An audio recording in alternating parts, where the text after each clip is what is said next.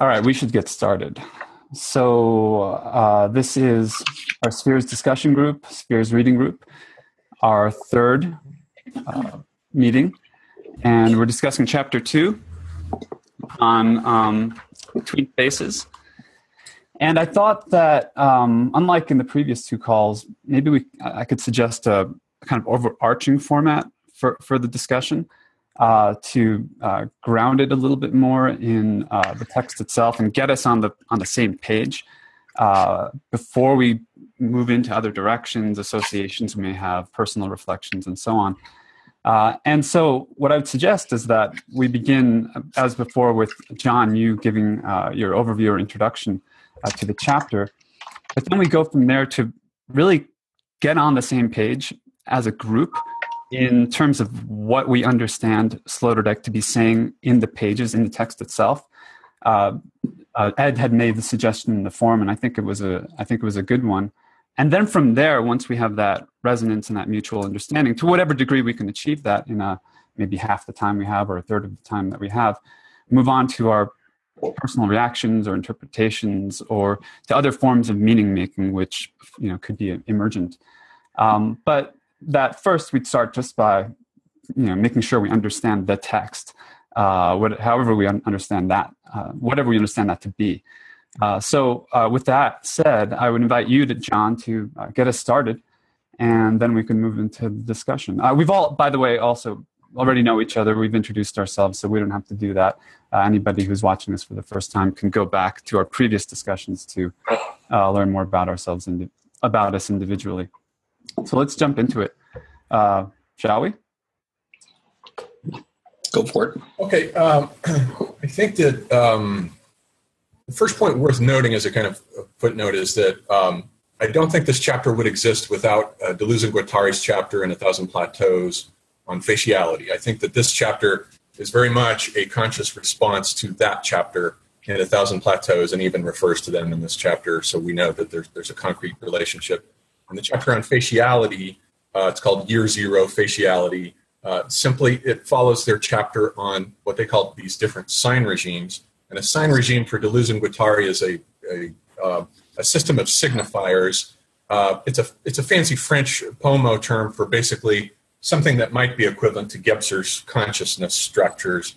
Uh, the French translation of that is sign regimes. Each consciousness structure has its own its own sign regime. Um, and there are three different kinds of faciality that they mention. Uh, and it's just worth having a little background here as, as we come into this chapter.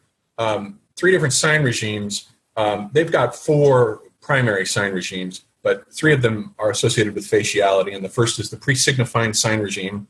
This corresponds more or less to Gebser's magical consciousness structure. It has to do with the tribal world.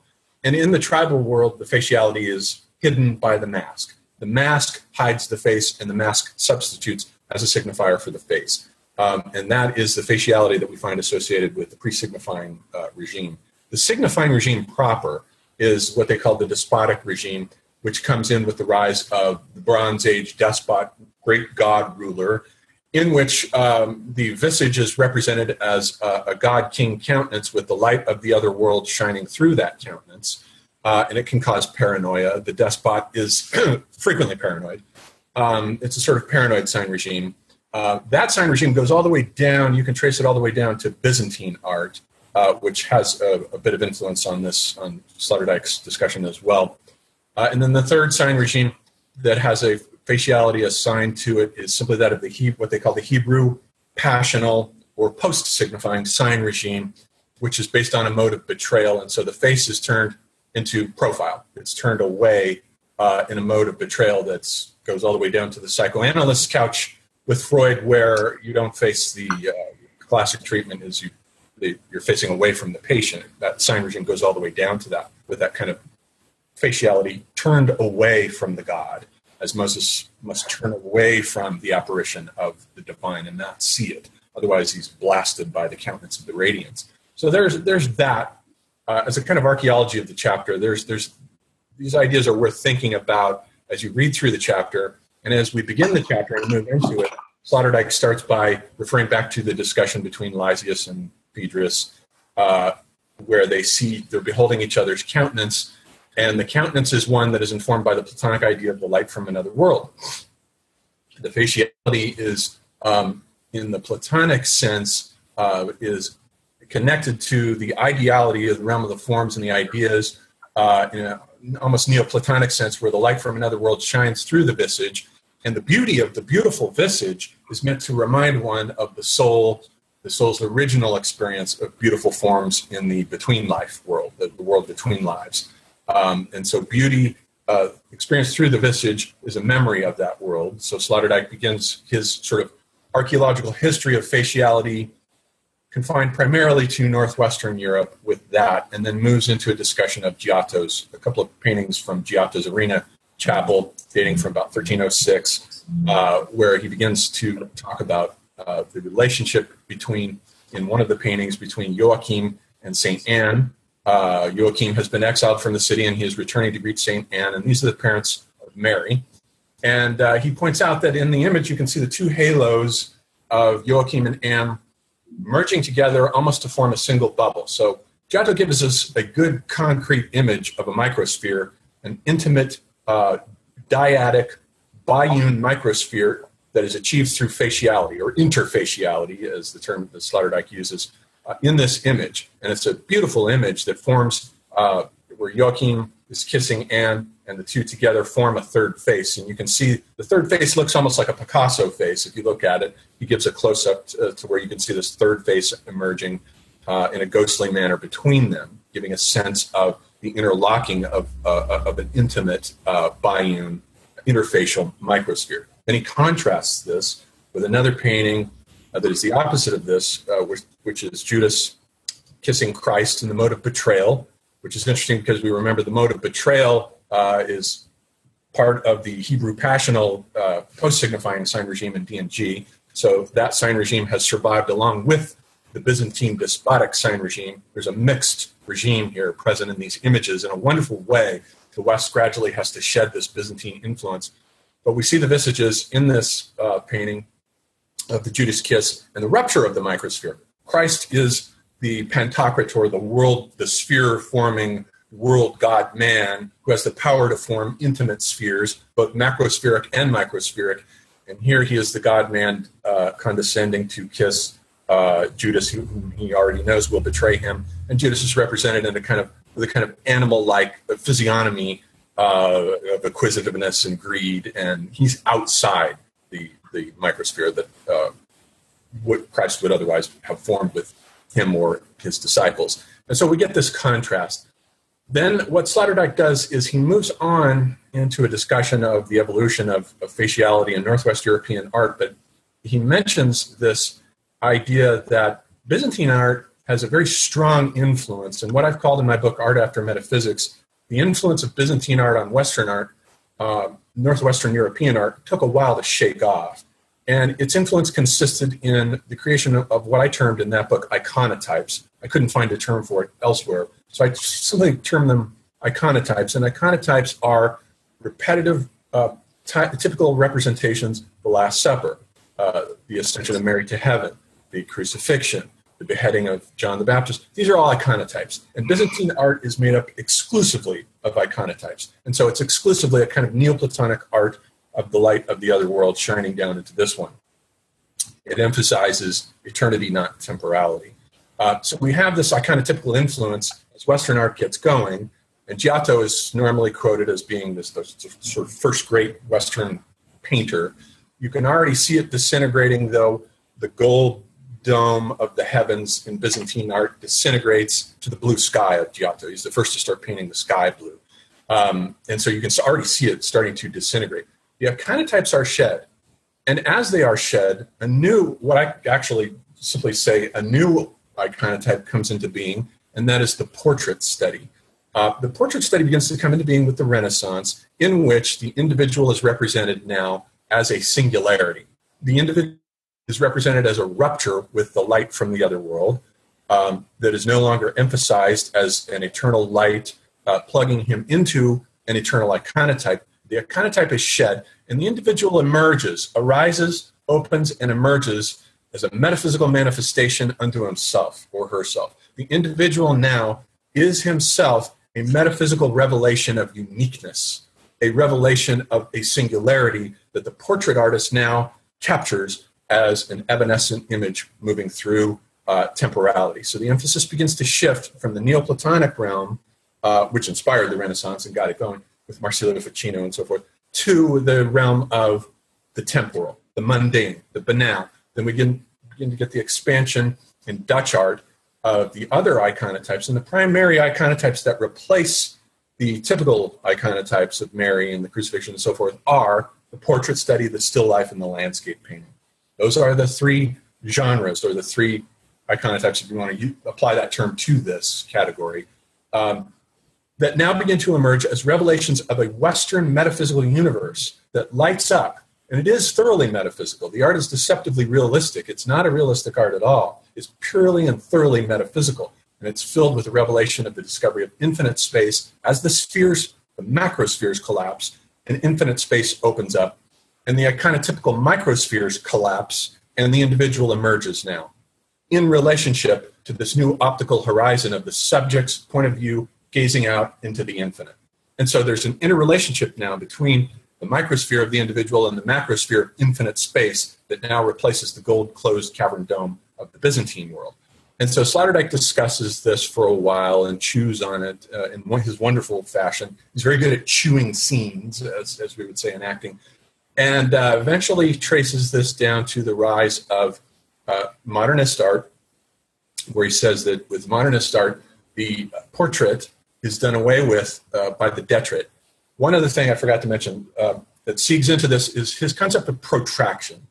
Now, protraction is something that um, has both a biological and a cultural basis. And he says that the biological basis of protraction is simply the sexual selection process that has resulted throughout the hominization process of selecting beautiful faces and wanting to sexually reproduce those faces. And so there's an aesthetic dimension to Homo sapiens sapiens that is missing with animals. There's an aesthetic drive that supplements the Darwinian uh, fitness principle with an aesthetic principle, wanting to reproduce beautiful visages. And so there's a protraction or an extraction of the human from the animal. Uh, in D&G's chapter, this would be called uh, the process of uh, uh, the process of deterritorialization, where they say that the the face is a deterritorialized animal snout, just as the hand is a deterritorialized paw, and the tool that it holds is a deterritorialized branch. And so he's sort of adapting some of the terminology and ideas here from D&G as he moves then finally into a discussion of the rise of the detrite in modernist art. And the detrite replaces the portrait. So the protraction process now uh, is no longer the relationship of the human to other humans.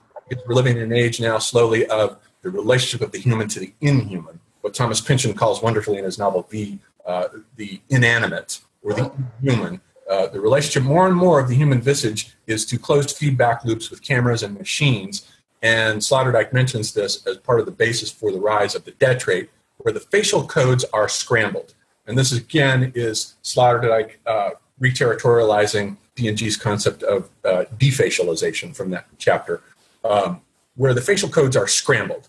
They're scrambled, and this becomes especially evident in the art of Francis Bacon. And I think Bacon was the best at doing this, of taking a face and simply making a scrambled egg mess out of it uh, so that it becomes a sort of meaningless sense of something that has been deterritorialized off the plane of significance into an a signifying plane where there is no meaning to the face and no codes can be ascribed to it. It becomes now a new kind of slate. It's as though Bacon were taking the face with an eraser on a chalkboard and wiping it clean so that then new codes can then come along to be ascribed to a new form of faciality, which is perhaps still yet to emerge and is slowly emerging as the human canvas of the face is a blank slate upon which new codes will be inscribed. And so, uh, with that little synopsis, I'll turn it over to you guys.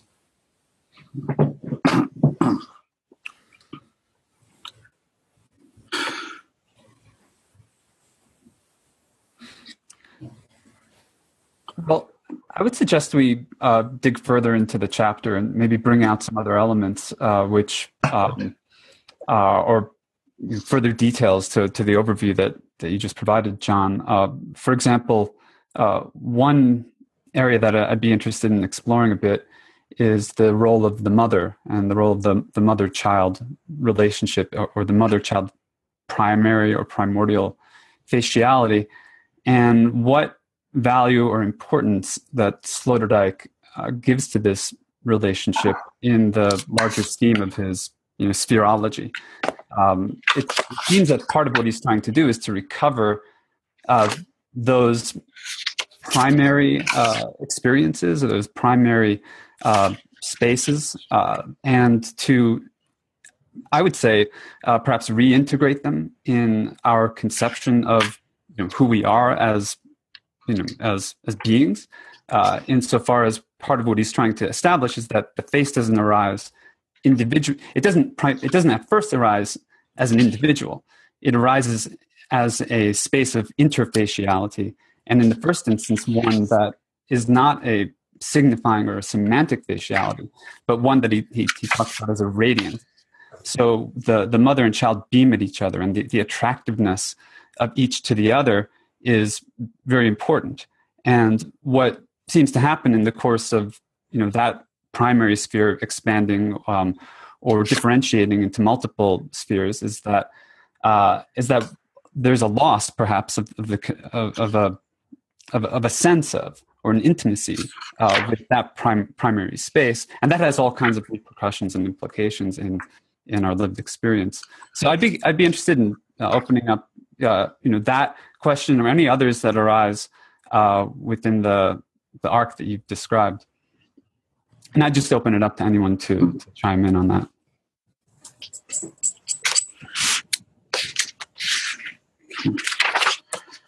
Well, I don't know where to begin. That this is really fascinating. Um, you know, I've been reading a lot on the CIA and psychic spying, and one of the things they do when they train CIA uh, psychic spies, they, it's required reading Betty Edwards' book, Drawing on the Right Side of the Brain. And um, I think that's very curious, but it's very important that they know the difference between a received image and a constructed image. This is pretty crucial if you want to be a psychic spy. You want to know the difference between making up something and actually receiving a direct hit. And that's the way I find myself reading this book. It's um, I'm relying a lot on a kind of somatic intelligence um, that just receives um, certain images, and I also am aware that I'm constructing images as I go along. I know this is probably a little weird, but I had an experience once as I was shaving in the mirror um, and you know, if you guys shave in the mirror, it's a pretty sometimes a boring task. It is for me at least, and I find my mind sort of drifting to other kinds of uh, experiences. And one day I was looking at my face in the mirror, and as I shaved, I recalled a very I got a very strong feeling of Norton, who was a pit bull dog who lived in my neighborhood, who belonged to a very close friend of mine whom I hadn't seen in a very long time. So I got this real direct hit of this this feeling of, of Norton, this pit bull dog. And I hadn't seen my friend Ed in a long time who owned the dog or who was a, a companion of the dog. And then all of a sudden, walking down the street, I saw Ed, hadn't seen him in a long time. I said, How's it going? And he said, Norton died. I had to put him down two days ago. This is the day that I was shaving my face and got this strong hit. And then I realized I sort of put it all together that, oh, that wasn't just a confused kind of something I was making up, but I was receiving something um, about this particular dog, this person who was in a strong relationship with this dog and who was in a strong relationship with me. And Ed said that, you know, Norton, his dog, had ascended to dog heaven or whatever. So I'm just playing with this because I believe these, um, for me, reading this particular chapter is like moving from one room of a gallery to another room in another gallery with this very intelligent um, tour guide who's just pointing out certain features of the, of the paintings and sort of creating little stories and vignettes around them. And I think it's very important as we go from room to room in a gallery that we register the effects of the room we're leaving and the room that we're going into. Because it's in that in between those two uh, different kinds of psychoactive spaces that I think um, all kinds of intuitive hits occur. If we're sensitive to that transition from room to room, most of us are not. We're not. We're pretty mindless about that. So I'm just offering that because to me, I, I remember Nabokov said when he reads, he reads with his spine. And I thought, what the fuck is he talking about, reading with his spine? But I think I start to understand he's talking about reading with his somatic intelligence. And it's that somatic intelligence combined with our cognitive that I believe can register the effects of the field uh, in, in, I think, unique and creative ways. So that's how I'm reading this book. And when I read it this way, I sort of enjoy it in a way that I wouldn't if I was just trying to cognitively figure out what is this guy, what is this guy up to? Um, because I think he writes in a, you're not going to find anything too syst- systematic or logical arguments being offered. I think he's writing in a very um, deductive kind of way. He's really uh, using a lot of analogy the story. And I find it fun. So that's where I'm at right now. Thank you.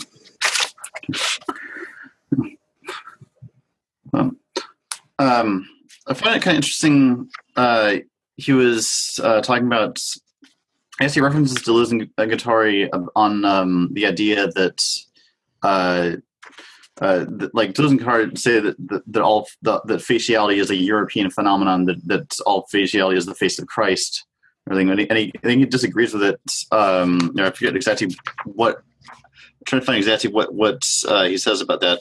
But he, he contrasts, but then he contrasts the face of Christ with the face of Buddha, and uh, in, in, terms of the uh, suffering of Christ, and, and, then the sort of serenity of, of, the face of the Buddha, and and and the and the sort of um, the stance that each ha- each has towards suffering, and uh, let's see if I can dig it up here somewhere. Um, yeah. This is unlike the face of Christ, which aims either for final suffering or for the represent, representation of transcendence. Buddha's face shows the uh, pure potential of an absolutely immanent touchability by whatever comes before it. By floating in a, in a state of readiness to resonate, this face is itself uh, the realization of the gospel. It announces n- nothing, rather showing what uh, what is already there. As an expressive manifestation of euphoric emptiness, the countenance of the awakened one in contemplation is the opposite of the character uh, heads of, of, Western Caesars, muddled by violence and marked by determination. Which I guess is uh, reminds me of, of the other thing is talking about, about the Roman Trinity of uh, Caesar, Augustus, and the Roman Empire. I know. I'm not sure where I'm going with this, but it, but I find it, it's it, it's interesting way he curates these uh, these different modes of faciality within different cultures and, and what they express.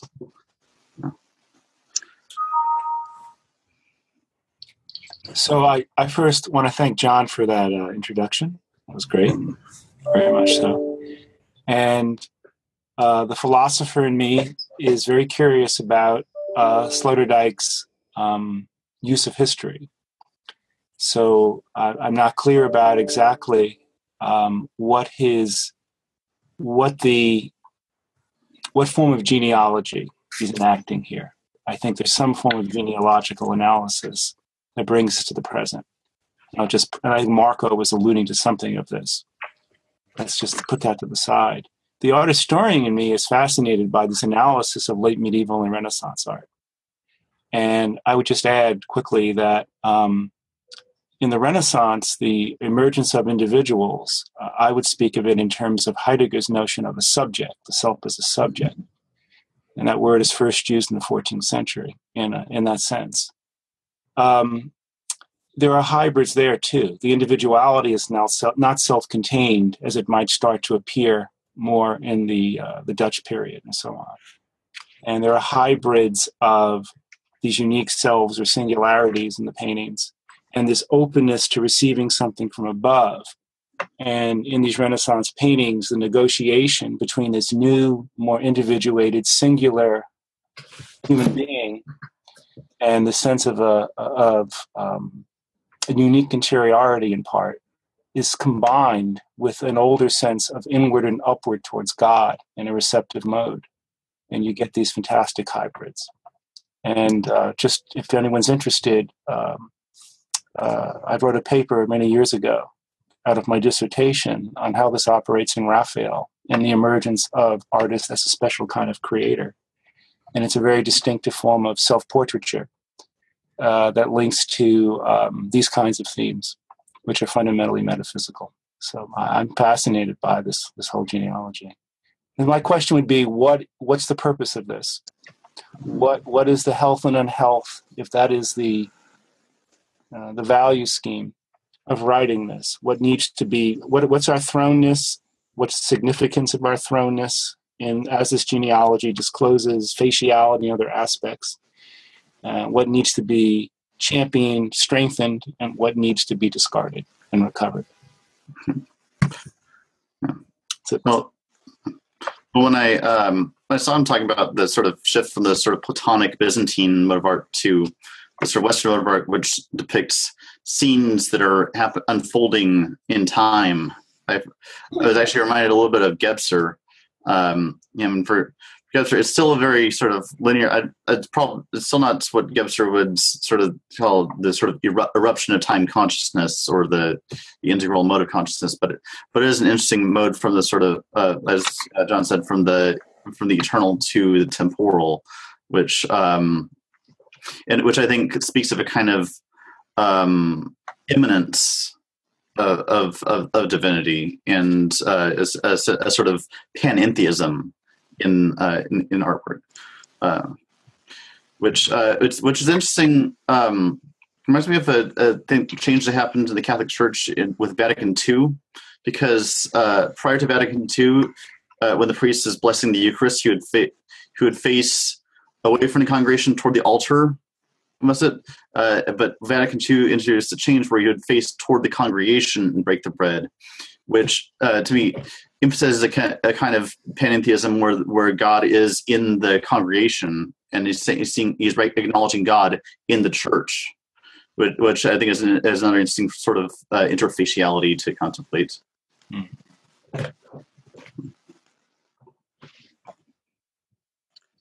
I'm I'm drawn to to jump in here and comment to say that uh, I I was I was kind of drawn to different things in the chapter, um, and and in keeping with Marco's original suggestion to kind of focus at first on sort of trying to just parse out what I understood from the chapter.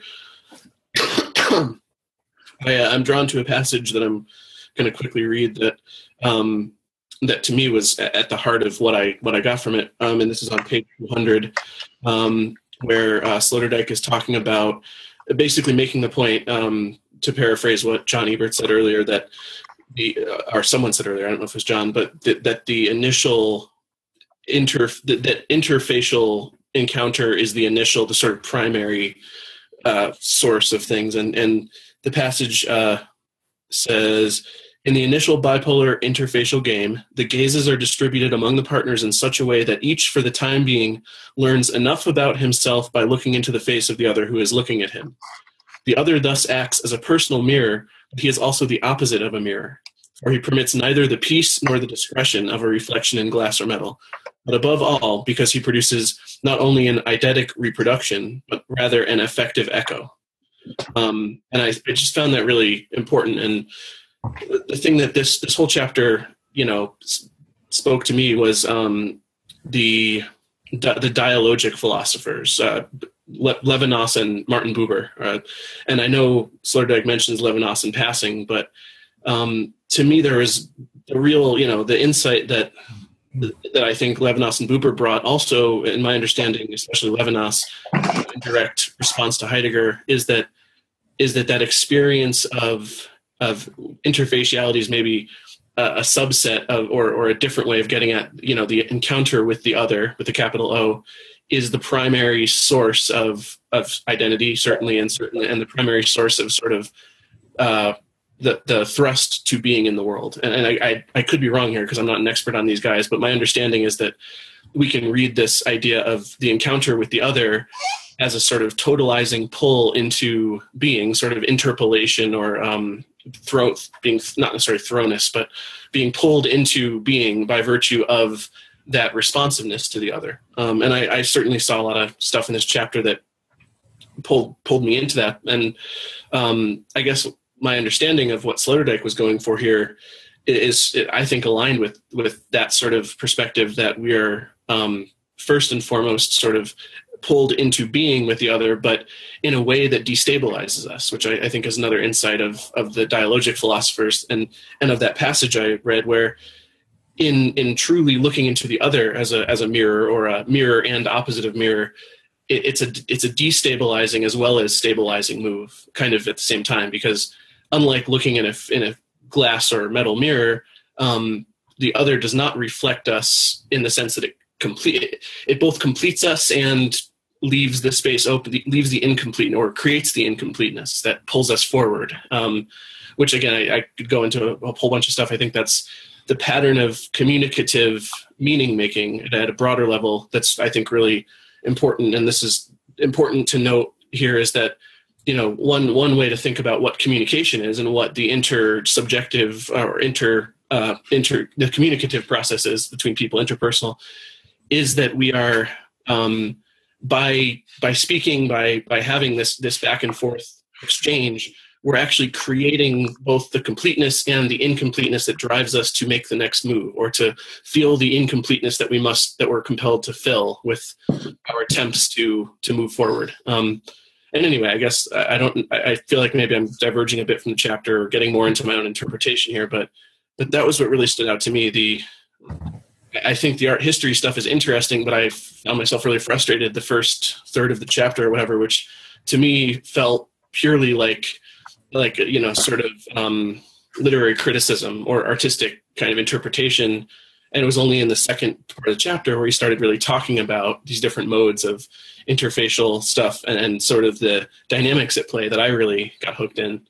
Um, but anyway, I think I, I, th- I was surprised that there wasn't more of a connection made to to these notions of dialogic kind of you know engagement. And i think that maybe has more to do with sloterdijk's mode of, of of exploring things through art and through kind of literature than and not being as literal or not being as direct with his perspective. But anyway i, I guess that's i'll stop there.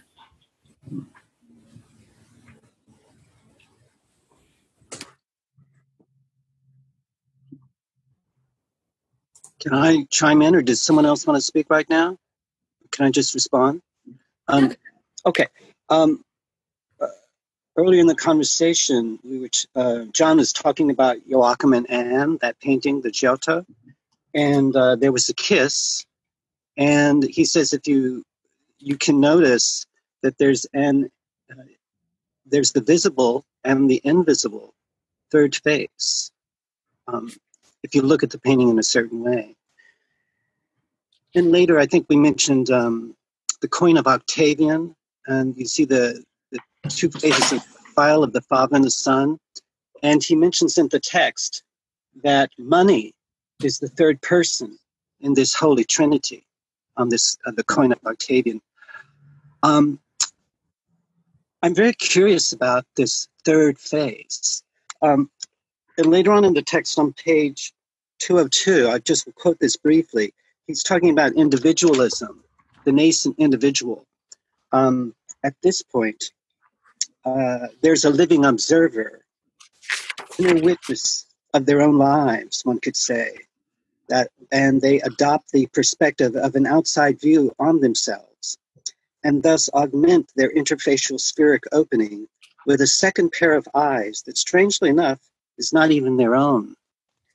I think that's really fascinating. I think that when it's not their own, that second pair of eyes, the visible, invisible, that third face, I think that happens to us a lot. I, I just a personal anecdote, and this was very destabilizing for me.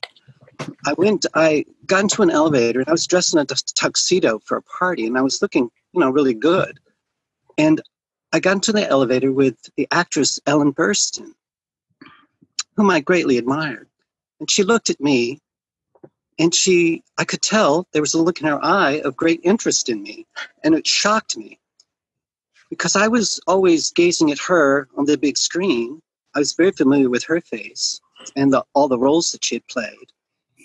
But it was stunning experience for me to see that she was gazing at me. And we were alone in an elevator. Later, 10 years later, I saw her again on the street and she approached me um, because she was parking her car and she was looking for coins and she didn't know how to put them in the meter or how many coins she needed to put in the meter. And she asked me, "Do you know? Do you know how much money I need to put in the meter?" And I recalled that I had seen her like ten years previously in this elevator, and I don't know if she was aware of a previous that previous connection or not, but I'm I am aware of how faces that change over time um, we get to know actors and actresses as they age on the big screen. We see the the almost uh, we remember their voices and their faces from previous performances, maybe decades before when they were young and now they're elderly. I think those kinds of transformations are, are very fascinating because I think it plays on that visible and invisible, that third phase, um, that looking at ourselves from the outside of ourselves um, I think that kind of thing can lead to destabilization and dissociation, which I think is pretty epidemic in our culture right now. Um, so anyway, I'm just throwing that out there because I think um, the, the, interplay of the senses, the visual, the kinesthetic, the auditory, once these are stabilized, um, they can be destabilized by certain kinds of cultural forces that I think we're all pretty familiar with. And I'm just wondering about what happens next because we're looking, even as we are having this conversation using uh, this uh, using Zoom, we see a certain version of each other's faces in different rooms in different places around the globe. And I'm just wondering what this is doing to our nervous system. And I think you know, I, I, this is self-serving, uh, and it has nothing to do with the text. But I did, I wrote an entire book about this. It's interesting that John mentions this because this is uh, my book, Dead Celebrities, Living Icons, is precisely about that and makes just exactly the point that uh, John just made about uh, the celebrity's relationship with the various media apparatus de- has a destabilizing and decentering effect. Very often, not always, but more often, I think, than not, uh, has a destabilizing effect on the celebrity's personality and can send them spiraling into psychological forms of chaos.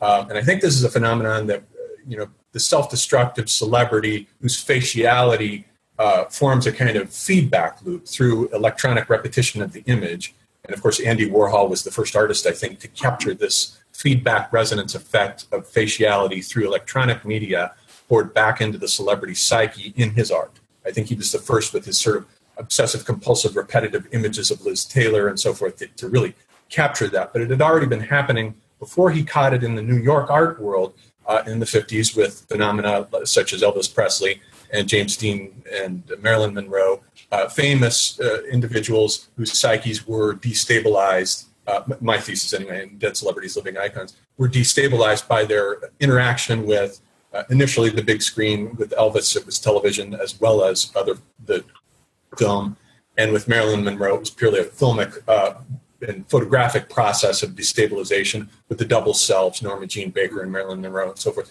Um, and these destabilizations that take place in the psyche uh, have gradually been, been democratized uh, to the rest of us through the proliferation of uh, media such as YouTube and uh, Facebook, of course, uh, and our iPhones. And each individual now has their own sort of personal celebrity cult of me now.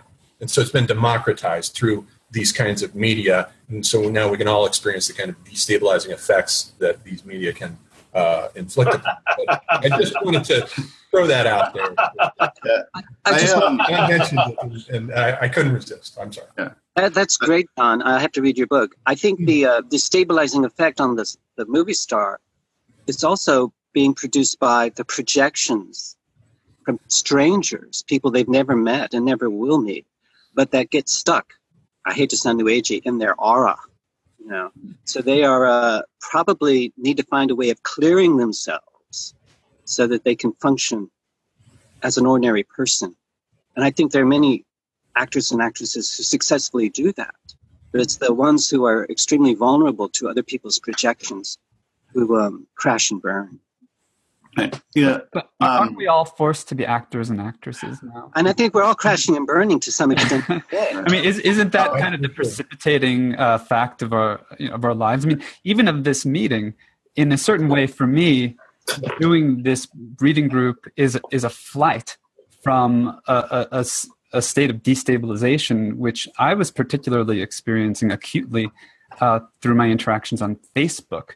Uh, you know, the semantic inter, you know, interfacial uh, interfacial space of our age, uh, and it's so interesting and ironic that here we are. I'm looking at a grid of, of faces. You're seeing my face. We're recording this, so a, a public will see our face. We're performing a conversation. There's a performative aspect to our, you know, our, our speaking about this this subject. It's staged, uh, and you know, we're, we're enacting it. Uh, so we're kind of caught up in the in the very themes that that Sloterdijk is discussing in this chapter, but which we don't, I think, typically reflect. I certainly uh, haven't like thematically reflected upon uh, in the way that the impressions that I'm receiving uh, from not just the book, but our experience here right now uh, are are uh, awakening in me, are causing in me. Uh,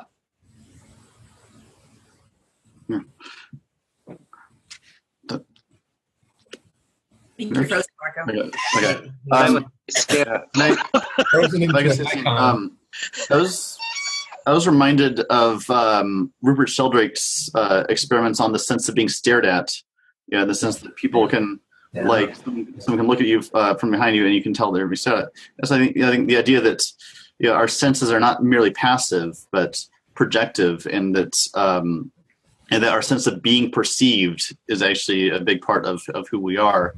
Um, I'm also reminded of um, Rene Girard uh, in his uh, his theory about the sacrificial victim and um, and um, uh, mimetic desire, because his his idea is that you know the the sacrificial that societies uh, that didn't like uh, before societies with legal structures, uh, in order to maintain peace, they had to have a single uh, person upon whom they uh, would project all their uh, all, all, all their unsatisfied desires and and um, and anger, and this person uh, would be set apart from society, not not not merely in a negative way. Often, often this sort of sacrificial victim would be given this praiseworthy role and and seen uh, as uh, and sort of hoisted on people's shoulders right right up until the point that when they're all when they're killed. Um, and, and he talks about even monarchies actually can can uh, act as sort of uh, the monarch can act as a sacrificial victim set, set apart from society, encouraged to engage in taboos that are forbidden to others, like such as incest, um, so that they can be sort of they can absorb these sort of aspects of ourselves that we don't want. And I, I feel like even celebrity culture kind of per, uh, perpetuates that, where people on the one hand they, they become our, our gods, but the, but they're the sacrifice gods that, that uh, yeah. Yeah, has anyone seen the movie uh, The Stoning of Soraya M?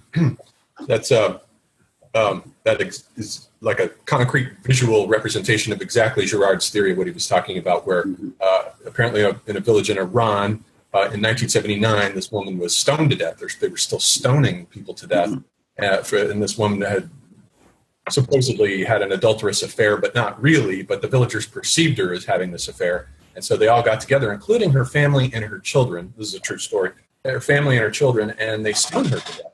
And it's really shocking and horrific, and, but it brings home, in a visceral sense, the Girard's theory of the, of the sacrifice of the, the one who is set apart as the scapegoat, and all the, the anger and angst and projections uh, that are animating the village or upsetting them get projected like a black hole into this one figure who then takes those down with her into the abyss and cleanses the psyche of the village so that it can function normally again. It's a horrific idea, but uh, you know to what degree it works, I don't know.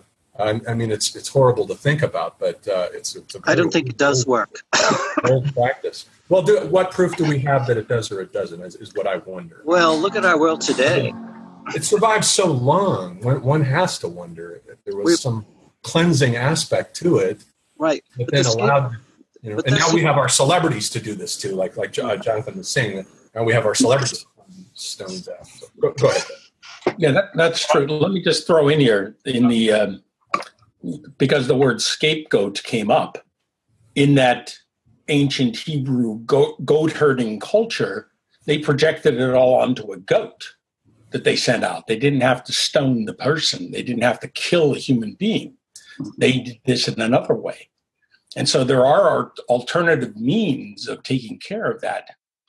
They're also horrific, I suppose, and it's because we have to deal with things that are very deep and unsettling within us. But there are ways and means of doing that. Right, and uh, for Girard himself, who who's a Catholic, uh, you know, he, he he sees Christ as a sort of turning point in that where he proves not uh, where he uh, like overturns the regime of the sacrificial victim uh, by being the by being the innocent sacrificial victim, who proves not only his own innocence but the innocence of the sacrificial of the sacrificial victim writ large, and therefore he sees the the role of Christianity as sort of undoing this sacrificial consciousness with, within humanity. It sort of did it as a transcendental signified Mhm. for the culture as a whole by uplifting the image of a single sacrifice, Mhm. a, a monumental event in Hegel's term, the Right. axial event uh, of history around which everything pivots, as a single sacrificial victim that's then Mhm. uh, put onto the cross and uplifted, and it becomes the primary transcendental signified for the West. It almost acts as a magnet that, that performs that uh, function that was being performed by the villagers in the stoning of Soraya M for the culture as a civilization, as a, as a macro scale civilizational entity for them to then project all their uh, angst and so forth onto this one being uh, who was sacrificed and willingly sacrificed, as the theology goes, uh, and to become this sort of magnet for all these collective projections that then gather around this sacrificed being. And so one wonders then, to the to what degree does the collapse of this transcendental signified, the disintegration of the transcendental signified or the iconic status of the crucifix, then loses that function, that organizing function for the entire society, and then we start getting the proliferation of all these weird sacrificial phenomena, such as what we've been talking about with celebrities and and uh, you know mass violence and the increase of rage and shootings uh, and, and so forth. One wonders about that. To, to what degree that image held the society together as a kind of hinge that pulled everything and integrated it successfully, and the dismantling of it being uh, not a good thing for the society. I, I wonder about that. Well, I think we're all. I'm sorry, Wendy. Were you going to speak? Okay. Hear another voice? Uh, I was just responding because I think uh, looking at our media and how we're using it in Facebook and how we're somatizing disturbances in this in our society. We're, we're confronted by so many faces on in our social media, and um, and I think some of us are uh, like I just used that example of uh, responding, and, and somewhere in my my mind was aware of this uh, my friend and his dog and him putting down this dog now i didn't have a i didn't have a, a, a scenario or a story or a narrative but i just got this strong emotional uh, flash. And i have a funny feeling this is happening to us all the time. To various degrees we're aware of it. Um, but i think now that we're uh, sort of being invaded by so many faces every day uh, and through our social media with so many stories and none of it is integrated. Um, most of the stories we get are, you know, temporary attempts to make something coherent, but we see so many of them that at the end of the day, if we're using social media a lot, I think there's a lot of um, uh, this uh, a lot of more de- destabilization than there is camaraderie or intimacy. So I, I hope this what we're doing today is sort of a, an antidote to that kind of frantic absorbing stuff that probably doesn't even belong to us, but we still take it home with us. So I'm just sharing that with you because I think um, this is sort of like what, what Sheldrake was talking about that morphogenetic field. Um, we may be tuning into very uh, intrusive energies, and if we don't know how to clear ourselves, uh, we may be creating a great deal of havoc. And I think that's why we're all, to some extent, getting scapegoated. So I don't know that that strategy is going to work anymore because we can't pick a person, dump all of our projections onto them, and string them up. it just isn't going to stabilize or unify us anymore. Um, anyway, If if I could jump in, I'd like to. Oh, sorry. To, um, okay, I guess I'm going to run with it. Um, I just want to jump in and kind of extend this by saying that I think, um, you know, part of to I think Michael originally was the one who kind of raised the perspective that we we could be looking for something prescriptive or at least you know some guidance toward how to how to be or how to how to respond to this reality that I think everyone has been talking about really really eloquently, um, which is that sort of dest- the destabilization, the scapegoating, and the, the democratization, as as John Ebert put it, of of this sort of celebrity uh, breaking breaking apart of self or or uh, de- you know destabilizing of of identity. Um, I guess I have a sense that there's so directly in response to that, I have I have other thoughts, but I'll I'll table those for the moment. But directly in response to this question of how to be, I, I found that uh, Sloterdijk's description of the Buddha is is really important here, which is to say that um, you know we're, we're talking here about and and rightly so, but we're talking about all the things that are wrong with our society now, and you know how we've how one argument is that you know this the lack of scapegoating or the lack of having someone we can project everything onto and then string up there is is sort of a destabilizing factor or that the argument being and, and this comes up in other places you know that the, the purge is the thing that keeps society integrated the ability to purge or to otherwise you know push into a into a safe vessel or a, or at least a constrained vessel all of our bad things and you know um and i i was really is interesting to hear the insight about uh Christianity shifting that dynamic. Although I think you know my initial thought was, oh, that's exactly what the Christ figure is: is someone who is the ultimate vessel for all of our bad stuff, who just kind of takes it and cleanses us by taking it all on. Um, but I think that the anyway to get back to the Buddha, I think that the important the important thing there is is in that passage um, where we talk about the the Buddha being constantly present and ready for whatever comes without any judgment without any agenda but just sort of present and aware. And it's sort of to me that's an that's an important figure because it's maybe not an antidote but it's a different way. If you think of the buddha as being someone who could be and would be targeted and and projected upon and given all of the pain and all of the bad stuff um, what's amazing about the buddha figure is that they're not a passive vessel. Uh, they're actually in, in a sense I, what i'm trying to get at and i'm having a hard time getting there is that that that presence and that ability to be to be genuinely responsive um, without judgment without your own projection kind of coming into play to me that's that's a, another way to break the cycle. In other words if, if that's the state of the buddha and you come up to the buddha projecting your bullshit onto the buddha as it were just to use this as kind of a thought experiment you're not going to get the sort of um, sacrificial victim. You're not going to that's not what you're not going to be able to overcome in a sense, the will or the being of the Buddha by projecting your bullshit onto them and making them what you want them to be, right? And that's I, anyway. I'm not really having, I'm not really finding a good way to put it, but I think that's really important because that figure to me represents the sort of strength to break that cycle without without it being a force of will right? Because that's the whole point is the buddha's just sitting there smiling at you and you feel like a dumbass because you're projecting your shit onto the buddha not because the buddha makes you feel like a dumbass. Do you see what i'm saying? So it is it is a sort of a type of mirror that i think can break that cycle. Anyway i don't know i don't know if i fully have that thought through but i, I think that's really important. I'd like to echo Nate, yeah, um, and bring it back to girard in the same moment. Um, my understanding of girard is that um, human socialization necessarily involves both a kind of enabling. I imitate the actions of the other in relation to some object of desire in the world, and simultaneously sets up an unconscious rivalry.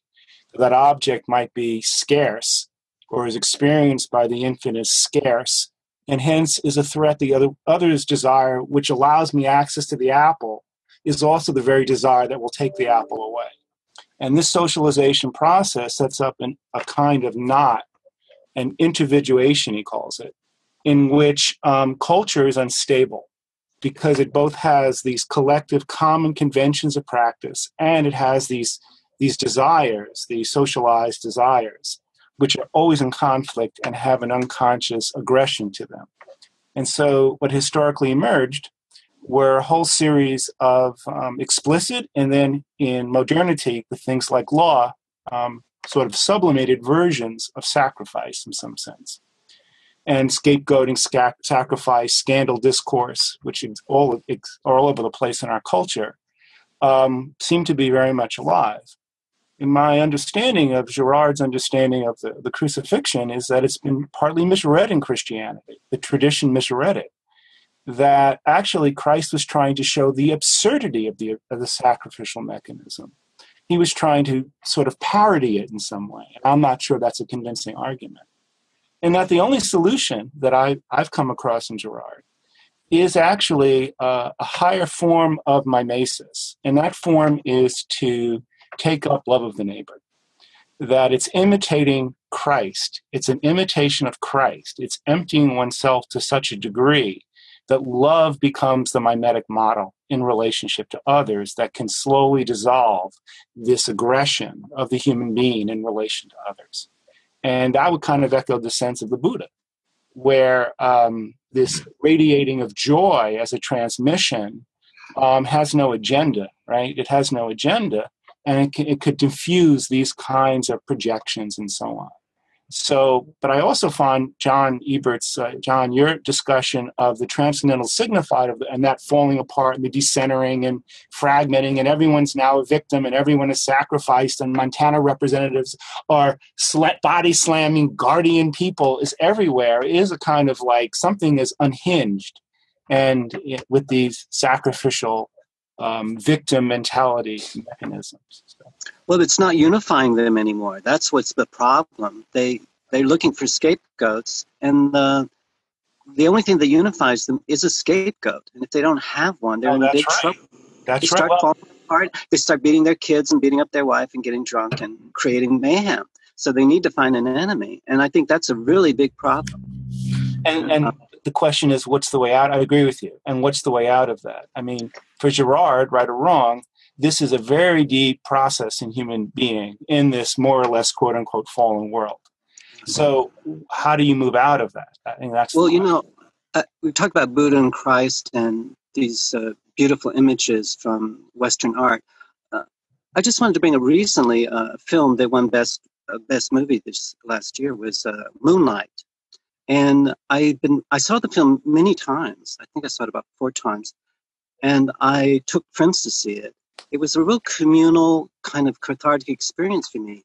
And I listened to the director of the film, Barry Jenkins, making a decision like on the set. Uh, you, you, saw these two characters uh, having a dialogue with one another. And he asked one of the, I think it was an actress, to turn and look directly into the camera. So the audience looked right into her eyes. And he did this with all the, the major characters. He had them look into the camera so the audience looked right into their eyes. And he did this in, a, in an intuitive but a very intentional way because something happens to people in the audience as they all of a sudden are inside that person. They lose their sense of I'm over here, the image is over there. All of a sudden, uh, they're, they're starting to embody or enter into that uh, character's world in a very uh, visceral way. So I thought that film is an excellent example of what can happen when um, you, you know have a, a very good ensemble, a very good script, and you have a very smart director. And I, I, you know, straight people, I saw like, you know, really hardcore straight guys say they saw that movie. It's, it's a gay, it's a gay love story, and they said, you know, it made them cry. So I think that is where the hope is. Uh, it's when we can all of a sudden can't separate ourselves easily from the dilemmas and the paradoxes another person has. So um, I think um, in this particular character, the character of Chiron in this particular movie, he was scapegoated, um, but that but he says he survives that, and I think he reclaims his dignity. And I think the audience benefits enormously and I think that's how our culture can start shifting. We don't see many movies like that, but it's my hope that we would have more artists like that working at that level. I, th- I think I mean um, if you look at uh, like shifting attitudes towards things like homosexuality, uh, towards people of other races, it's it, it's often through friendships and acquaintance that that people overcome their prejudices. You know, the, a person of my generation is much more likely than the parents' generation to know a person who is gay or trans or is an immigrant or uh, or something like that, and um, and that, and that's and, and that tends to breed more progressive attitudes for like um, uh, which at the same time we're in a big sacrificial crisis right now with Donald Trump and uh, you know, the the rise of these far right parties across Europe. Uh, you know, as as this anti-immigrant, uh, you know, anti uh, multiculturalism uh, ethos uh, becomes rampant, and people are, are seeking a scapegoat for uh, you know th- for this this economic mess that we've, we've found ourselves in as, as a result of globalization. So, uh, so yeah, so I was saying finding that find that solution is like more urgent than ever. I think. so, what's Sloterdijk's prescription here?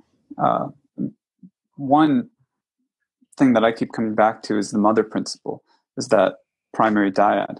Uh, and the um the the wholesomeness of it, the healthiness of it in its at least in its some ideal form. Uh, I think obviously in reality it's it's it's not uh, always wholesome.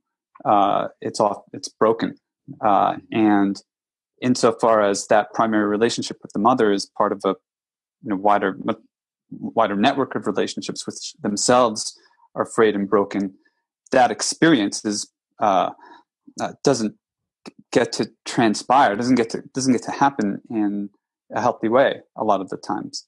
Uh, and it seems that one of the things that he's saying, uh, or at least implying in this book, or at least one of the discourses that the book connects to, is that that kind of notion of a primary trauma, uh, which occurs because we become alienated from our own our own relationality, uh, our own primary relationality, like that field that is prior to the semiological you know distinctions that we make.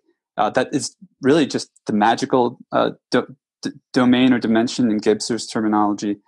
Um, it's uh, a childlikeness because as the as the baby is like if we in, insofar as we we carry within us the the residue or the trace or the or the or the real felt reality of that primary experience uh, and, and we become traumatized at that level then that's going to act we're going to act that out on every other level in every other sphere.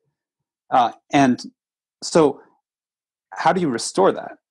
You know how do you reintegrate that? Uh, there's an element i think of regression if you were to look at it from the perspective of like developmental psychology that that Sloterdijk seems to be indicating uh, with this text. And we've gone now from the heart space to the face space. The heart space originally is the child inside of the mother's body, right?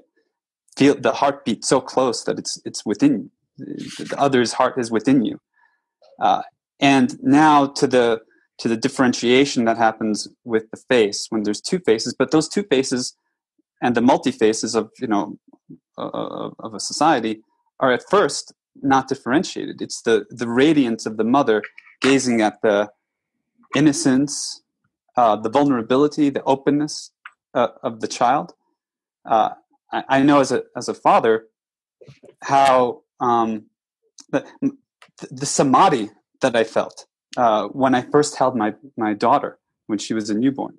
Uh, the there was that um, what Sloterdijk calls in his text a uh, the the the, the melting point, the, the, the greenhouse effect, or the, the intersubjective greenhouse effect. I don't, I don't recall his exact words. He expressed it in a few different ways, but that sort of melting point that happens when, uh, when our semantic or semiological distinctions break down, and we just feel a communion with the other.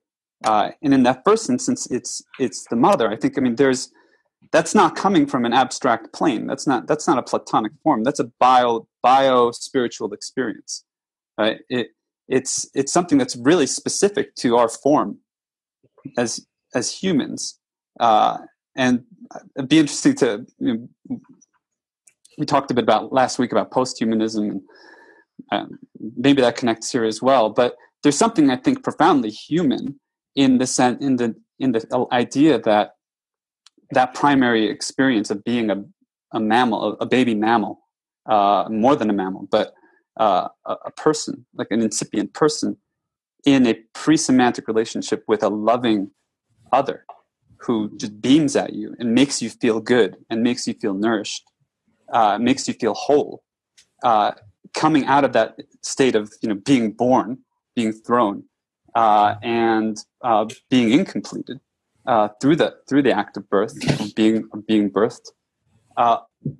One I mean, one of the things I think that art does really well, if it's good art, is that it integrates that magical, emotional, and bio spiritual uh, level. Uh, it, it, integrates that experience uh, across the, the across the different structures of consciousness in Gebser's you know terms. So. Uh, and and and it brings it into development. It brings it into a cultural sphere that could be shared uh, more broadly, and that that I think is the power of a movie like like Moonlight, as you describe it, uh, John. And I've I've I have similar experiences really profound. I mean, they're to me the most, some of the most profound experiences of my life when I really commune with a work of art and another person, in a sense, shows me my own original face, if you will, through the enactment of their creative vision. Uh, that my, the distinction breaks between me and other uh, breaks down. It doesn't, but it doesn't break down into a regression. It breaks down into like a, a greater openness, a greater enlightenment. Uh, and so I, I also appreciate how Sloterdijk brings the Buddha figure and that sort that model of uh, equanimous presence uh, as kind of a, a, way of perhaps reintegrating the receptive maternal and feminine principle with a an equanimity that comes through uh, the the a disciplined practice as you know, the, the, the Buddha the Buddhist path uh, would uh, would invite one to. Uh, and so, I, again, I don't know exactly where that lands, but other than that, uh, that in some sense, I think what I get, what I'm getting from Sloterdijk is that philosophy should be fun, and there should be an enjoyable aspect to it. Like we should enjoy uh, the the thought that we're embodying in this this kinds of conversations, uh, and that even though it's a sort of marginal activity, and uh, I, I, was reading um, a, an excerpt from uh, Sloterdijk's. Uh, remind me of the title, but it's Thoughts on the Human Zoo, something like that. John. Rules for the Human Park. Yeah. Rules for the human the human park, or the I mean, another translation is the human zoo. Yeah, or zoo. There's, there's two different translations. R- rules for the human zoo. One, the other one. Um, yeah. So that there's an interesting uh, there's some interesting things to think about there because who wants to think of themselves as a, as a zoo animal? But what he is uh, saying there is that there's a civilizing or taming function that uh, is important, you know, as, as part of uh, our ability to live together on a you know on a planet in, in, in a, in a social sphere, and I've, and you know, that that has not been accomplished, obviously, uh, to date, uh, and you know. Heidegger argues that humanism has not accomplished that, and so you know, being it has to be accomplishment of being. Sloterdijk is also in, in a conversation with you know, with with Heidegger and with humanism, I think, um, in, in, these pages. Um, but I guess I'm getting into the mushy, doughy space. Well, uh, I, again, and the, I, I, would like to. I'd like to speak to one piece. Okay, and um, I really appreciate what you're saying, Marco, about the uh, the mother bond and uh, and development, and the the most um, synthetic work that's from a philosopher, but is drawing upon various psychological models that might address this is Michael Washburn in his book Embodied Spirituality in a Sacred World. and he really does equate this um, the the differentiating of a, a separate self as a movement away from both the mother and the dynamic ground. He calls it, and yet honors development. He isn't anti-development, which some of these models have, and yet there's a need for certain dimensions to go back into all of that to reunify to the dynamic ground. And he calls this regression in the service of transcendence. And he's got a very careful map of this. So there's both sort of Wilberian like development and something else going on about down. And these are simultaneous and needed for a kind of fullness of awakening, a fullness of relationship and awakening. Um, and it is centered in the mother, and it is centered in recovering that. So I, I thought that was I, I, I agree with what you're saying. I, I, can I add something to that also? Um, you're talking about the, the heart and the face, and I think the face and the heart are very connected. And I believe that we can look at other people in such a way as to register something quite invisible. Um, I know, uh, and talking about the human and the non-human, and the, or the the, the post-human, that thing has been coming up. A friend of mine who lived in the neighborhood, she told me a story. She was raised by uh, Polish immigrants, and um, her father and her mother were from the old country, and she was learning English, and I think she was having trouble with her arithmetic. And I think she was, maybe, she said she was like eight or nine years old. And her father was like tutoring her. And she had a bird that she kept in a cage. But the the door of the the, the, the cage bird the, the door was open so the bird could come and go as it wanted to anyway the father was tutoring the daughter and she was having trouble the father got really frustrated and angry and he ended up hitting her in his frustration and anger and the bird flew out of the cage and started to peck him and the father was so shocked by this bird's intervention that he sat down and he he got very quiet and he never hit her again. And I just, I think that's a very remarkable story that sometimes this is uh, the, the, the most highly ethical and altruistic aspects of our nature are sometimes carried by some animal. You know, you hear these human, these rescue stories, you hear about these lost animal stories, how they, uh, an animal who is lost on the other side of the thousands of miles away can somehow find its family.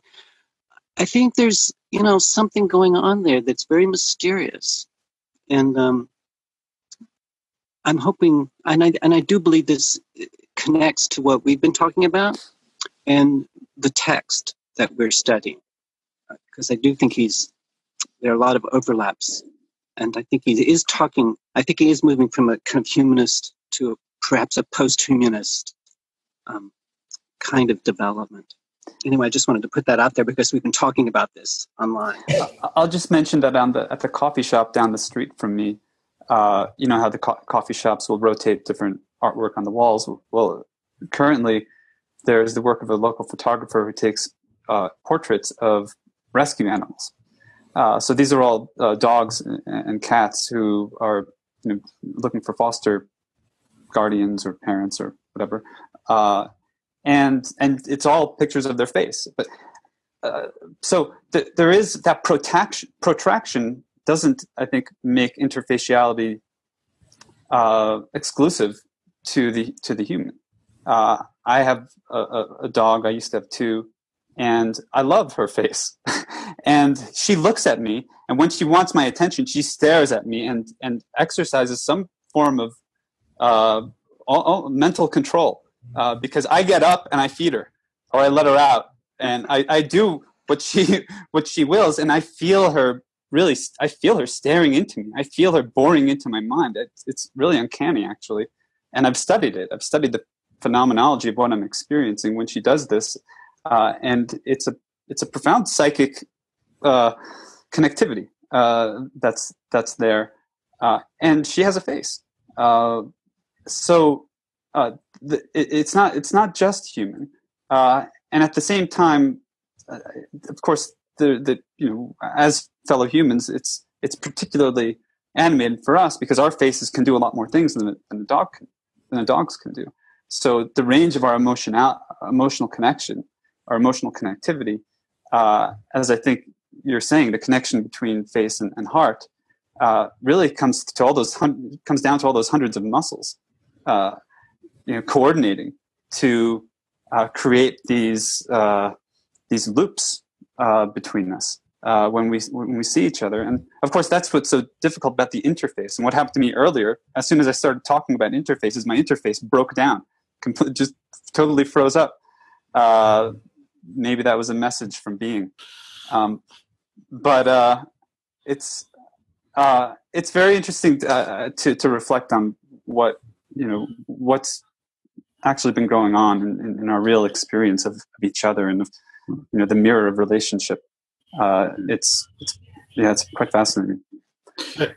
If I may, um, Marco, I wanted to respond to uh, something you raised a little bit earlier when you were talking about. Um, so, how do we resolve this uh, this kind of chaos that's going on in our society? What what what would be the new kinds of faciality that would come up that would of course faciality i think is always reflective already of, of processes that are already going on in the society but i think that um, and you raised sloterdijk's essay uh, rules for the human zoo it's worth commenting that in that essay he makes a distinction between uh, media that are traditionally inhibiting and media that have are that have a detrimental or disinhibiting function on the culture and he says that for instance the book which is a missive uh, written by one, and is the basis of humanism, which is sent out. It's a sort of letter uh, written by someone that is sent out to an unknown reader, whoever that's going to be. But it has an inhibitory effect. It has a civilizing function, a domesticating function.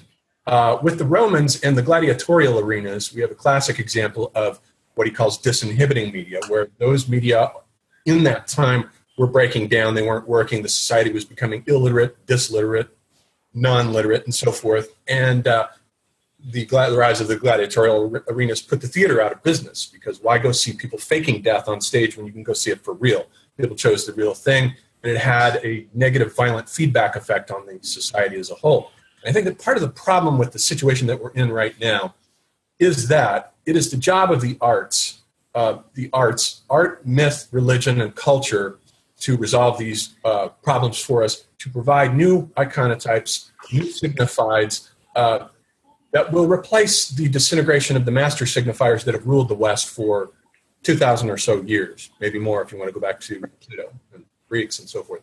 Those are uh, iconotypes are being disintegrated. The problem is when we turn to highbrow art, what we're left with is a very poor example in contemporary art because with contemporary art right now, um, the basis of the art is aniconic. It's deconstructive. It's, it's based on a mistrust ever since Malevich's black square and his white. It's based on a, a deconstruction of the image and a mistrusting of all traditional iconotypes as essentially binding, colonializing, uh, produced by white men to subjectify the, the rest of us. Uh, and there's no trust in these meta narratives anymore. There, and so contemporary art thinks its task is simply to take the images and keep pulling them apart. And so that's what it's doing. So it's not providing us with any kind of inhibitory, integrating, sphere forming functions. Everything is broken down into these foamic little tiny microspheres. And contemporary art, I think, has invalidated itself for the task. Okay, so what are we left with? We're left with popular culture. Popular culture provides us with, through film and uh, bestsellers and graphic novels, provides us with all these images. Um, but the problem there is that that would serve normally what the function of traditional art was to serve, which was a binding inhibitory function. But popular art provides us with all of these disinhibiting images. What we see are images of sex and violence, people solving their problems through resorting to violence. Um, almost invariably, that's what any narrative is going to tell us with these popular narratives of superheroes and so forth that the way to resolve your problems is by resorting to violence. And humans, being mimetic animals, uh, tend to imitate the images that they see proliferating around them. So whatever's proliferating around them is what they're going to imitate. And because popular culture is providing us with all these images, this is what people imitate. And so it feeds back in a negative way into the society and continues further pulling it apart. Yes, we have these iconic images in our head of Bruce Lee and uh, you know, you know whatever the uh, your favorite movie star is but they are pulling the culture apart, both from a popular level and at the level of the highbrow arts. And so the arts are in a situation where that's where the response is supposed to normally come from to integrate the culture by providing new forms of master signifiers, new forms of faciality, and so forth. But now we're getting from technology, we're getting these new bizarre forms of faciality, like this one, for instance, or Facebook, uh, where people are reduced to the level of two dimensional electronic trading cards on Facebook. And so it's not a very satisfying uh, response to the problem that we're faced with. And so we're really in a kind of a mess here uh, with this civilization. It's, it's, it's a massive uh, world ecumeny uh, that is based on violence uh, as a problem solving method that is full of images, and terrorists have taken over the media apparatus. And they have, Boris Groys writes about this in one of his essays, that the terrorist has, appara- uh, has taken over the apparatus of the media uh, with YouTube and the video camera and so forth. And they are the ones who have provided a lot of these unsettling, iconic images that are imprinted on the mass psyche. No one's ever going to forget the images of the falling of the trade towers during 911, for instance, that normally would have been provided by art, but art is failing to do this. Nobody much cares about it insofar as it has a sphere forming function uh, that imprints and creates icons on the society. So we're really in an unsettled mode here where all the traditional roles are shifting around and everything is being transformed into what Zygmunt Bauman calls liquid modernity. All the, all the archetypes are in a process of magmatic liquefaction. Um, so we're in a transitional phase here, and we're all struggling. And I think what we're doing here today is, is a response. It's a form of struggling with the crisis that, that we're in right now. So I just thought I'd throw that out there. Mm-hmm.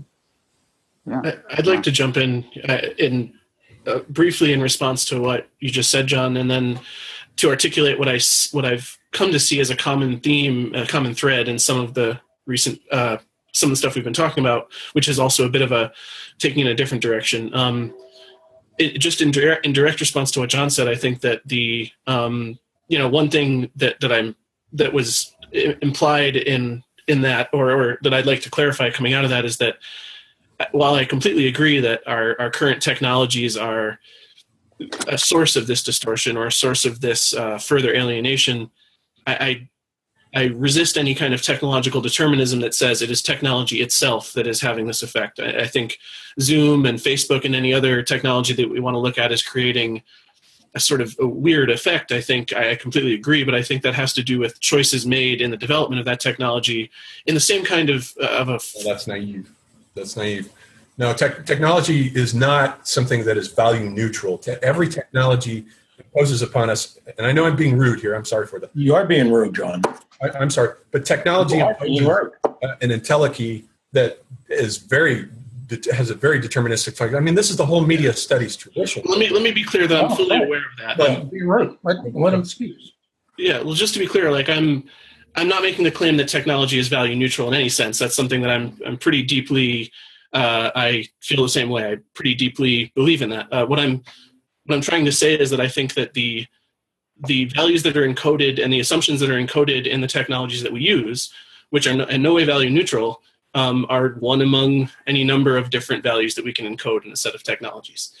And now that's not to say that it's simple and that there's not path determinism. And I guess I'm starting to sense that maybe this is this isn't really what I wanted to even talk about, and it's kind of its own conversation. But um, what I what I want to say is simply that the, the the perspective that I want to take that I'm trying to take relative to this is just that um, my sense is that there is, in many ways, technology, for lack of a better term, has, as you as you said, serves sort of has taken some of the function that traditionally the arts might take. In other words, it's there. You know, there's uh, I don't know. I'm, I'm feeling a bit.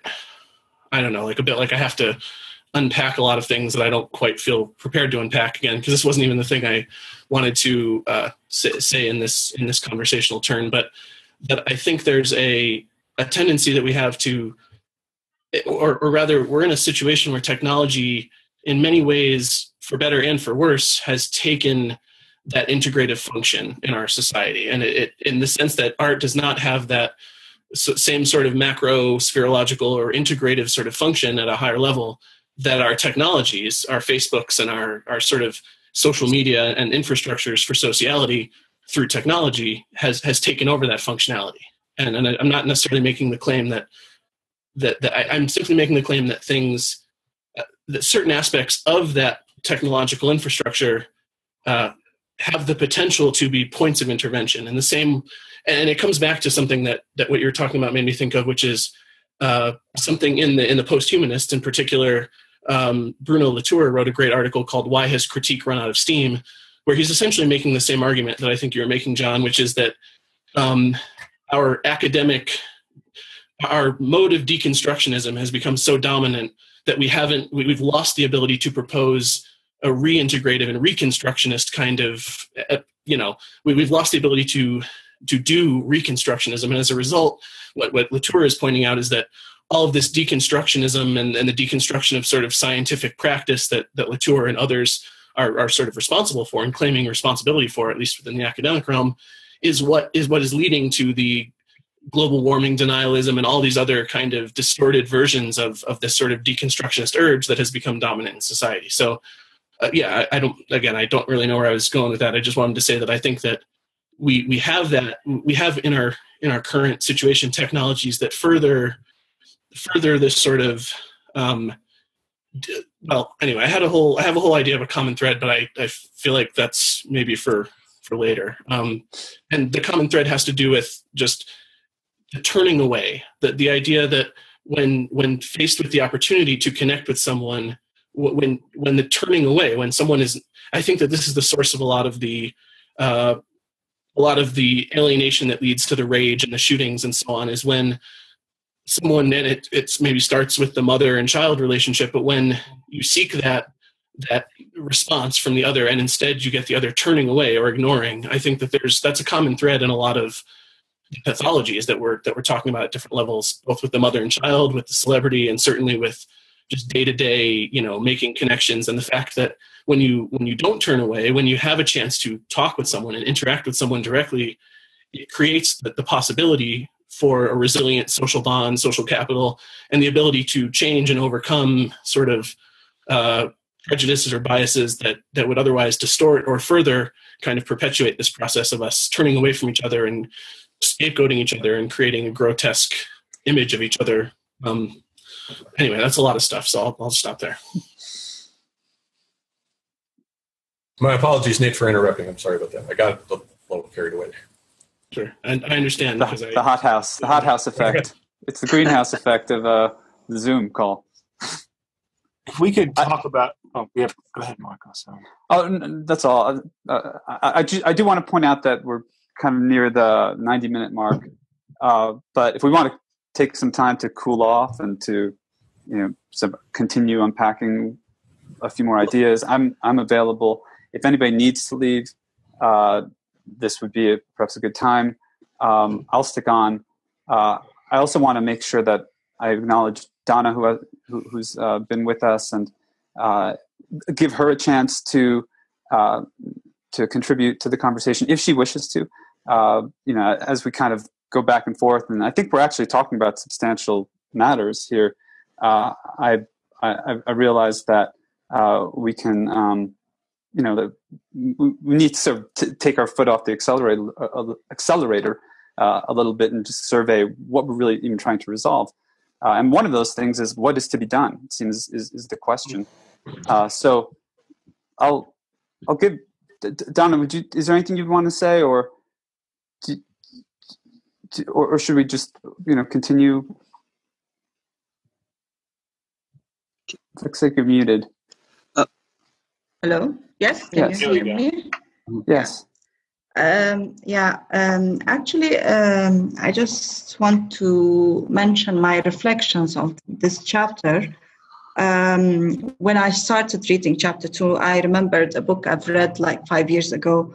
Um, he is a Syrian author, and he was following the image of Ishtar in different civilizations. And it was very interesting book because uh, it's called the riddle or the mystery of Ishtar. So when I read this uh, chapter, I felt it's in a way um, for me it was connected with that book.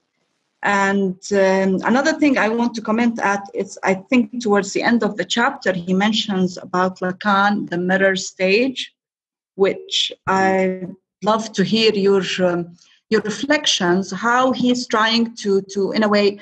Um, I felt he's trying to um, connect between what Lacan um, uh, mentioned in the mirror stage and where we come to realize the self and um, um, um, the reflection also i mean how this is connected to the chapter if i can hear uh, people comment on this thank you he does have a if i may say he does have a dismissive comment about lacan uh, where he's talking about sort of dismisses lacan's idea of the formation of the ego uh, as a result of the infant's interaction with the mirror uh, as a cultural artifact because Lacan didn't take into account that the proliferation of mirrors is really something that only happens in the 19th century, according to Sloterdijk, if this is correct, and that therefore the transcendental subject, the ego, and so forth, the formation of the the strong, the West's formation of the strong ego really predates the proliferation of mirrors by quite a few centuries. So that's why that's Japanese dismisses uh, Lacan without further ado. he also talks about Narcissus and um, you know, they didn't have mirrors. Um, and Narcissus didn't know when he was gazing into his own reflection that it was his own reflection. Um, so he, he, I just quote him. He says the the Narcissian mishap constitutes an accident in the early stages of self-reflection. I think that's uh, really interesting. Um, how other people give us that sense of who we are uh, now, of course, we do have mirrors and we do have movies and we have photographs and we have all kinds of other ways of viewing ourselves. And I think we often take a third person relationship to ourselves that's making things very complex and maybe dysfunctional. Um, but I just wanted to add that I think at the end of the chapter, after he traces this, uh, these uh, different phases of development, that he talks about being alone. Um, that um, the human wants to and is meant to have the ability to be alone. And this is what I'm dealing with right now. I mean, I like being alone. I love my solitude. I don't know that I want to give it up for anybody right now. That wasn't true a decade ago. Um, or when I was much younger, I would give up my my my time alone for anybody else's trouble or anybody else's drama. I got really sucked into it, and I was attracted and drawn to people who had lots of dramas. Um, and I think there's a, a, really, it's really a liberation when you can be alone and enjoy being alone. And I think the challenge is, can I, can we be alone together? Um, can we have relationships with people who also enjoy being alone, um, rather than loners? And I think that's the trouble that a lot of people are, are having is they're not really comfortable with being alone. They're becoming loners. Um, and there's a fine line there. And I'm I'm not necessarily I don't know that I've resolved this. Um, all I know is I love being alone. I love my solitude. I love to read. I love to write. Uh, and I also like to hang out with people who enjoy going a little bit deeper. Um, but I don't need those you know those butt sniffing contests where people sit around having cocktails talking about how fabulous they could be or, or want to be or used to be i mean you know give me a break and i think that's uh, that's probably one of the advantages i think to some of our social media is we can be a little bit selective about who we want to hang out with um, rather than just going out into a social space and hoping you collect some people who you know find you find attractive or interesting um, so anyway, that's where I think my cutting edge is. Is how can I be um, create healthy relationships through the social media um, that isn't driven by nefarious uh, hidden parties, and how can I um, reactivate, uh, you know, being in real time physical spaces with people where you share an environment in real time. And I live in New York, I mean, I, I see millions of people every day, and I see more and more people are looking into their devices than they are to the person that they're with. Uh, I think that's very that's going to be very challenging for the next generation. For, for my people in my generation, I think it's uh, also very destabilizing. Anyway, just putting that out there. Thank you. So, my, my, Michael, you, you at one point wanted to make a comment. I want to invite you to do so. Uh, Ed, I, I, haven't heard from you too much. Uh, if you'd like to say anything. But then let's wrap it up. I'd say, uh, and uh, I might make just say a couple of words about this conversation because I'm, I'm reflecting on it right now and just have a couple of closing thoughts. Okay. Um, I, I, I, have just uh, actually it's a thing for you and for John uh, Ebert. Since you both read Menschenpark Zoo, whatever, that was the piece that got Habermas to accuse Sloterdijk of being fascistoid. What in there caused Habermas to think that? I haven't read it. I don't know. And it, it's just one of these things. It's a side issue to this whole thing. How did that come up? What is in there that so provoked Habermas to react so negatively towards Sloterdijk? That, that would interest me personally. It has nothing to do with our conversation as it is. Um, the other thing is that Johnny just mentioned he lives in New York and there's millions of people and they're all staring at the phones and everybody's kind of isolated. I, li- I live in a very small rural German community, 3,000 people in seven villages who come together. And one of the villages that makes up our, our community is called Fischbach, which just means the fish stream. And in the fish stream, there's no internet it's completely isolated. You can't get a mobile signal there. If you want to talk to someone by electronically, you have to use a telephone and you have to call a landline. You can't you can't use your mobiles there. They're completely isolated from everything. It's probably the happiest village that I know in my community. because they're not taken up by all of this and and there is something about our technology that we use that is so enabling. You know i got to i get i get to meet people like you all of the people here in this conversation. I love all you guys. It's great that i can i can like interface and see and hear and listen. And i'm sorry for being rude myself john for telling you you're being rude. Um, it's all in the heat of the discussion. But but it's it's all part it's all part of who we are. And and and as i've noted on a number of our written threads and accompanying to this i don't think we know who we are. I think we're sometimes afraid to acknowledge who we are. We don't want to really recognize who we are because doing that entails a huge burden and th- this is the burden of being human to me, uh, if I if I can say it that way. And this this burden of being human means I have to I have to really think long and hard about everything I say and every effect that I might have on another human being that I encounter in some way. And this is an enormous responsibility and and what me what bothers me about a lot of the the talks that we have about theories and uh, this guy thought this and art historically we get this that and whatnot coming into it is that that we lose sight of the fact that it's still me somehow that's in there. And i'm still the one that has to deal with it. And i'm still the one that has to come to terms with it. And i can only do that as long as i got other folks like you who are there to help me sort that out I can't do it as much as I love. Believe me, Johnny, I know I love being alone. I love sitting in the middle of nowhere where nobody can get to me.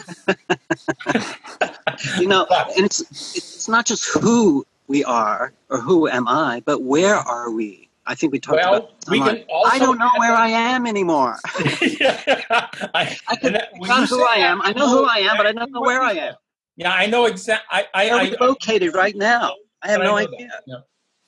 And that and that is that's important to me because well, we are only where we are whenever we are, and and here we are.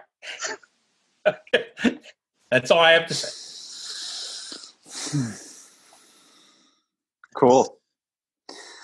Um, Michael, last chance before we wrap this up. Did you want to say something? Yeah, it was about art, and I loved John Ebert your uh, discussion of the dilemma of both mass cultural and uh, advanced art. And um, I think that's a, it's a hugely interesting discussion. I would just throw in quickly Walter Benjamin's essay, where he charts a history where um, these these earlier modes of art, these pre-modern contexts of art, where he called ritual values, where art was not its own autonomous, semi-autonomous sphere, its own subsystem, and it had the effect of actually re- reproducing uh, unjust power relationships. So there may have been master signifieds, but for Benjamin, these master signifieds were always, in some sense, oppressive in some sense. And um, and then, of course, Adorno disagreed with Benjamin and so on. And then he actually saw this emergence of mass cultural art as actually the, the greatest possibility. And what you're saying is it's actually decayed into a kind of m- modeling violence as a way out. And the last piece, it's a, it's a big discussion, just throwing some fragments. Someone like Malevich, I mean, you had you got me to think, you know, yeah, there is a deconstructive element to this. There is because of this modern impulse to break with the past and be modern, to, to focus on the future and to break with convention. So he's, you know, breaking from even earlier modernist enterprises. But there's another gesture there, and I think it's essentializing that he's actually seeking for something through an abstract language that bypasses linguistic differences, bypasses religious differences, and is seeking something more universal, a universal language. I'm not saying it is. He's seeking universal language to signify something like um, a witnessing consciousness or a non-duality or something like that. And um, but I hadn't really thought about that. There's also a deconstructive dimension and a destructive dimension to it. So I really appreciate that. Yeah, I think the art question is fantastically interesting, and I hope we pursue that. So a few fragments. Yeah. Uh, just to pick up on that and, and, wrap it up, um, I, I, want to reiterate Nate's point as well.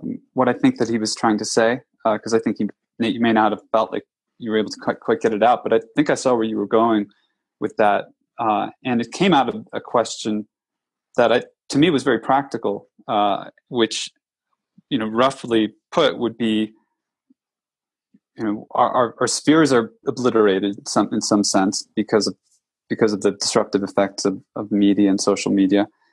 Uh, in times past, art would have that sphere forming, stabilizing, civilizing effect. That's no longer the case now, uh, and the popular art that we have uh, can further entrains uh, negative patterns. Uh, I'm maybe just chopping up and summarizing um, your your point, uh, John. And so, what is it that can provide that function, perform that function, perform that role? Uh, and what is the response that may be arising uh, through us, uh, more more broadly through other initiatives, other communities, other other people who are trying to who are grappling with the same issues. Uh, and I think that I mean, one thing that you, that Nate, Nate uh, brought into it is that there's a quality of, of conversation. There's a quality of facing each other and staying with each other, staying in a conversation that uh, you know the, this media both enables uh, and it also um, subverts because it subverts in a certain way. Because if you're in a small town, you can't really escape each other. Uh, if I want to escape you right now, I could flip off my phone, press a button, and you're gone. you're as as good as ghosts uh, to, me, and you will exist in this spectral fashion for me. Uh, so, given the fact that the technology allows us to do that, how do we use it in a way, and how do we, how perhaps even do we encode it in, in a way that inclines toward uh, the, the, the depth of uh, conversation and com- communion and um, you know being withness uh, that is so uh, needed that you know that I think we feel the need for because we're human uh, and because we're alive. Uh, so I, I, appreciate Ed you're bringing it to that point too because the, the, the ones who are here now are us. We're here now talking about this. Sloterdijk is a, as good as a figment.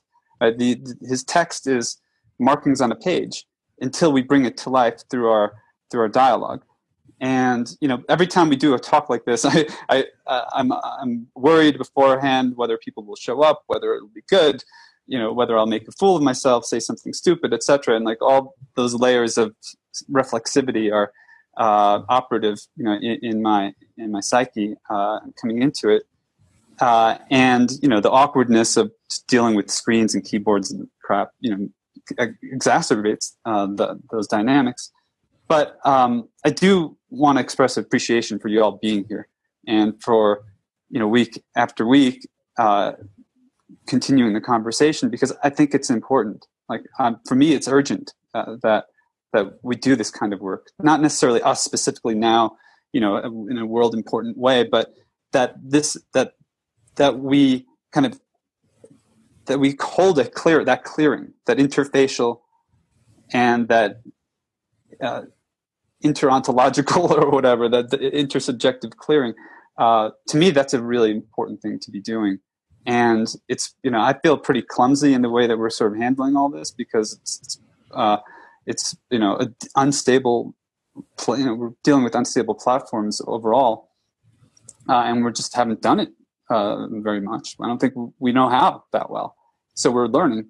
Um, but but I, I, I do appreciate you all being here, and and I really want to thank you all. Uh, so and, and, you know we're only three two chapters into this too, ways to go.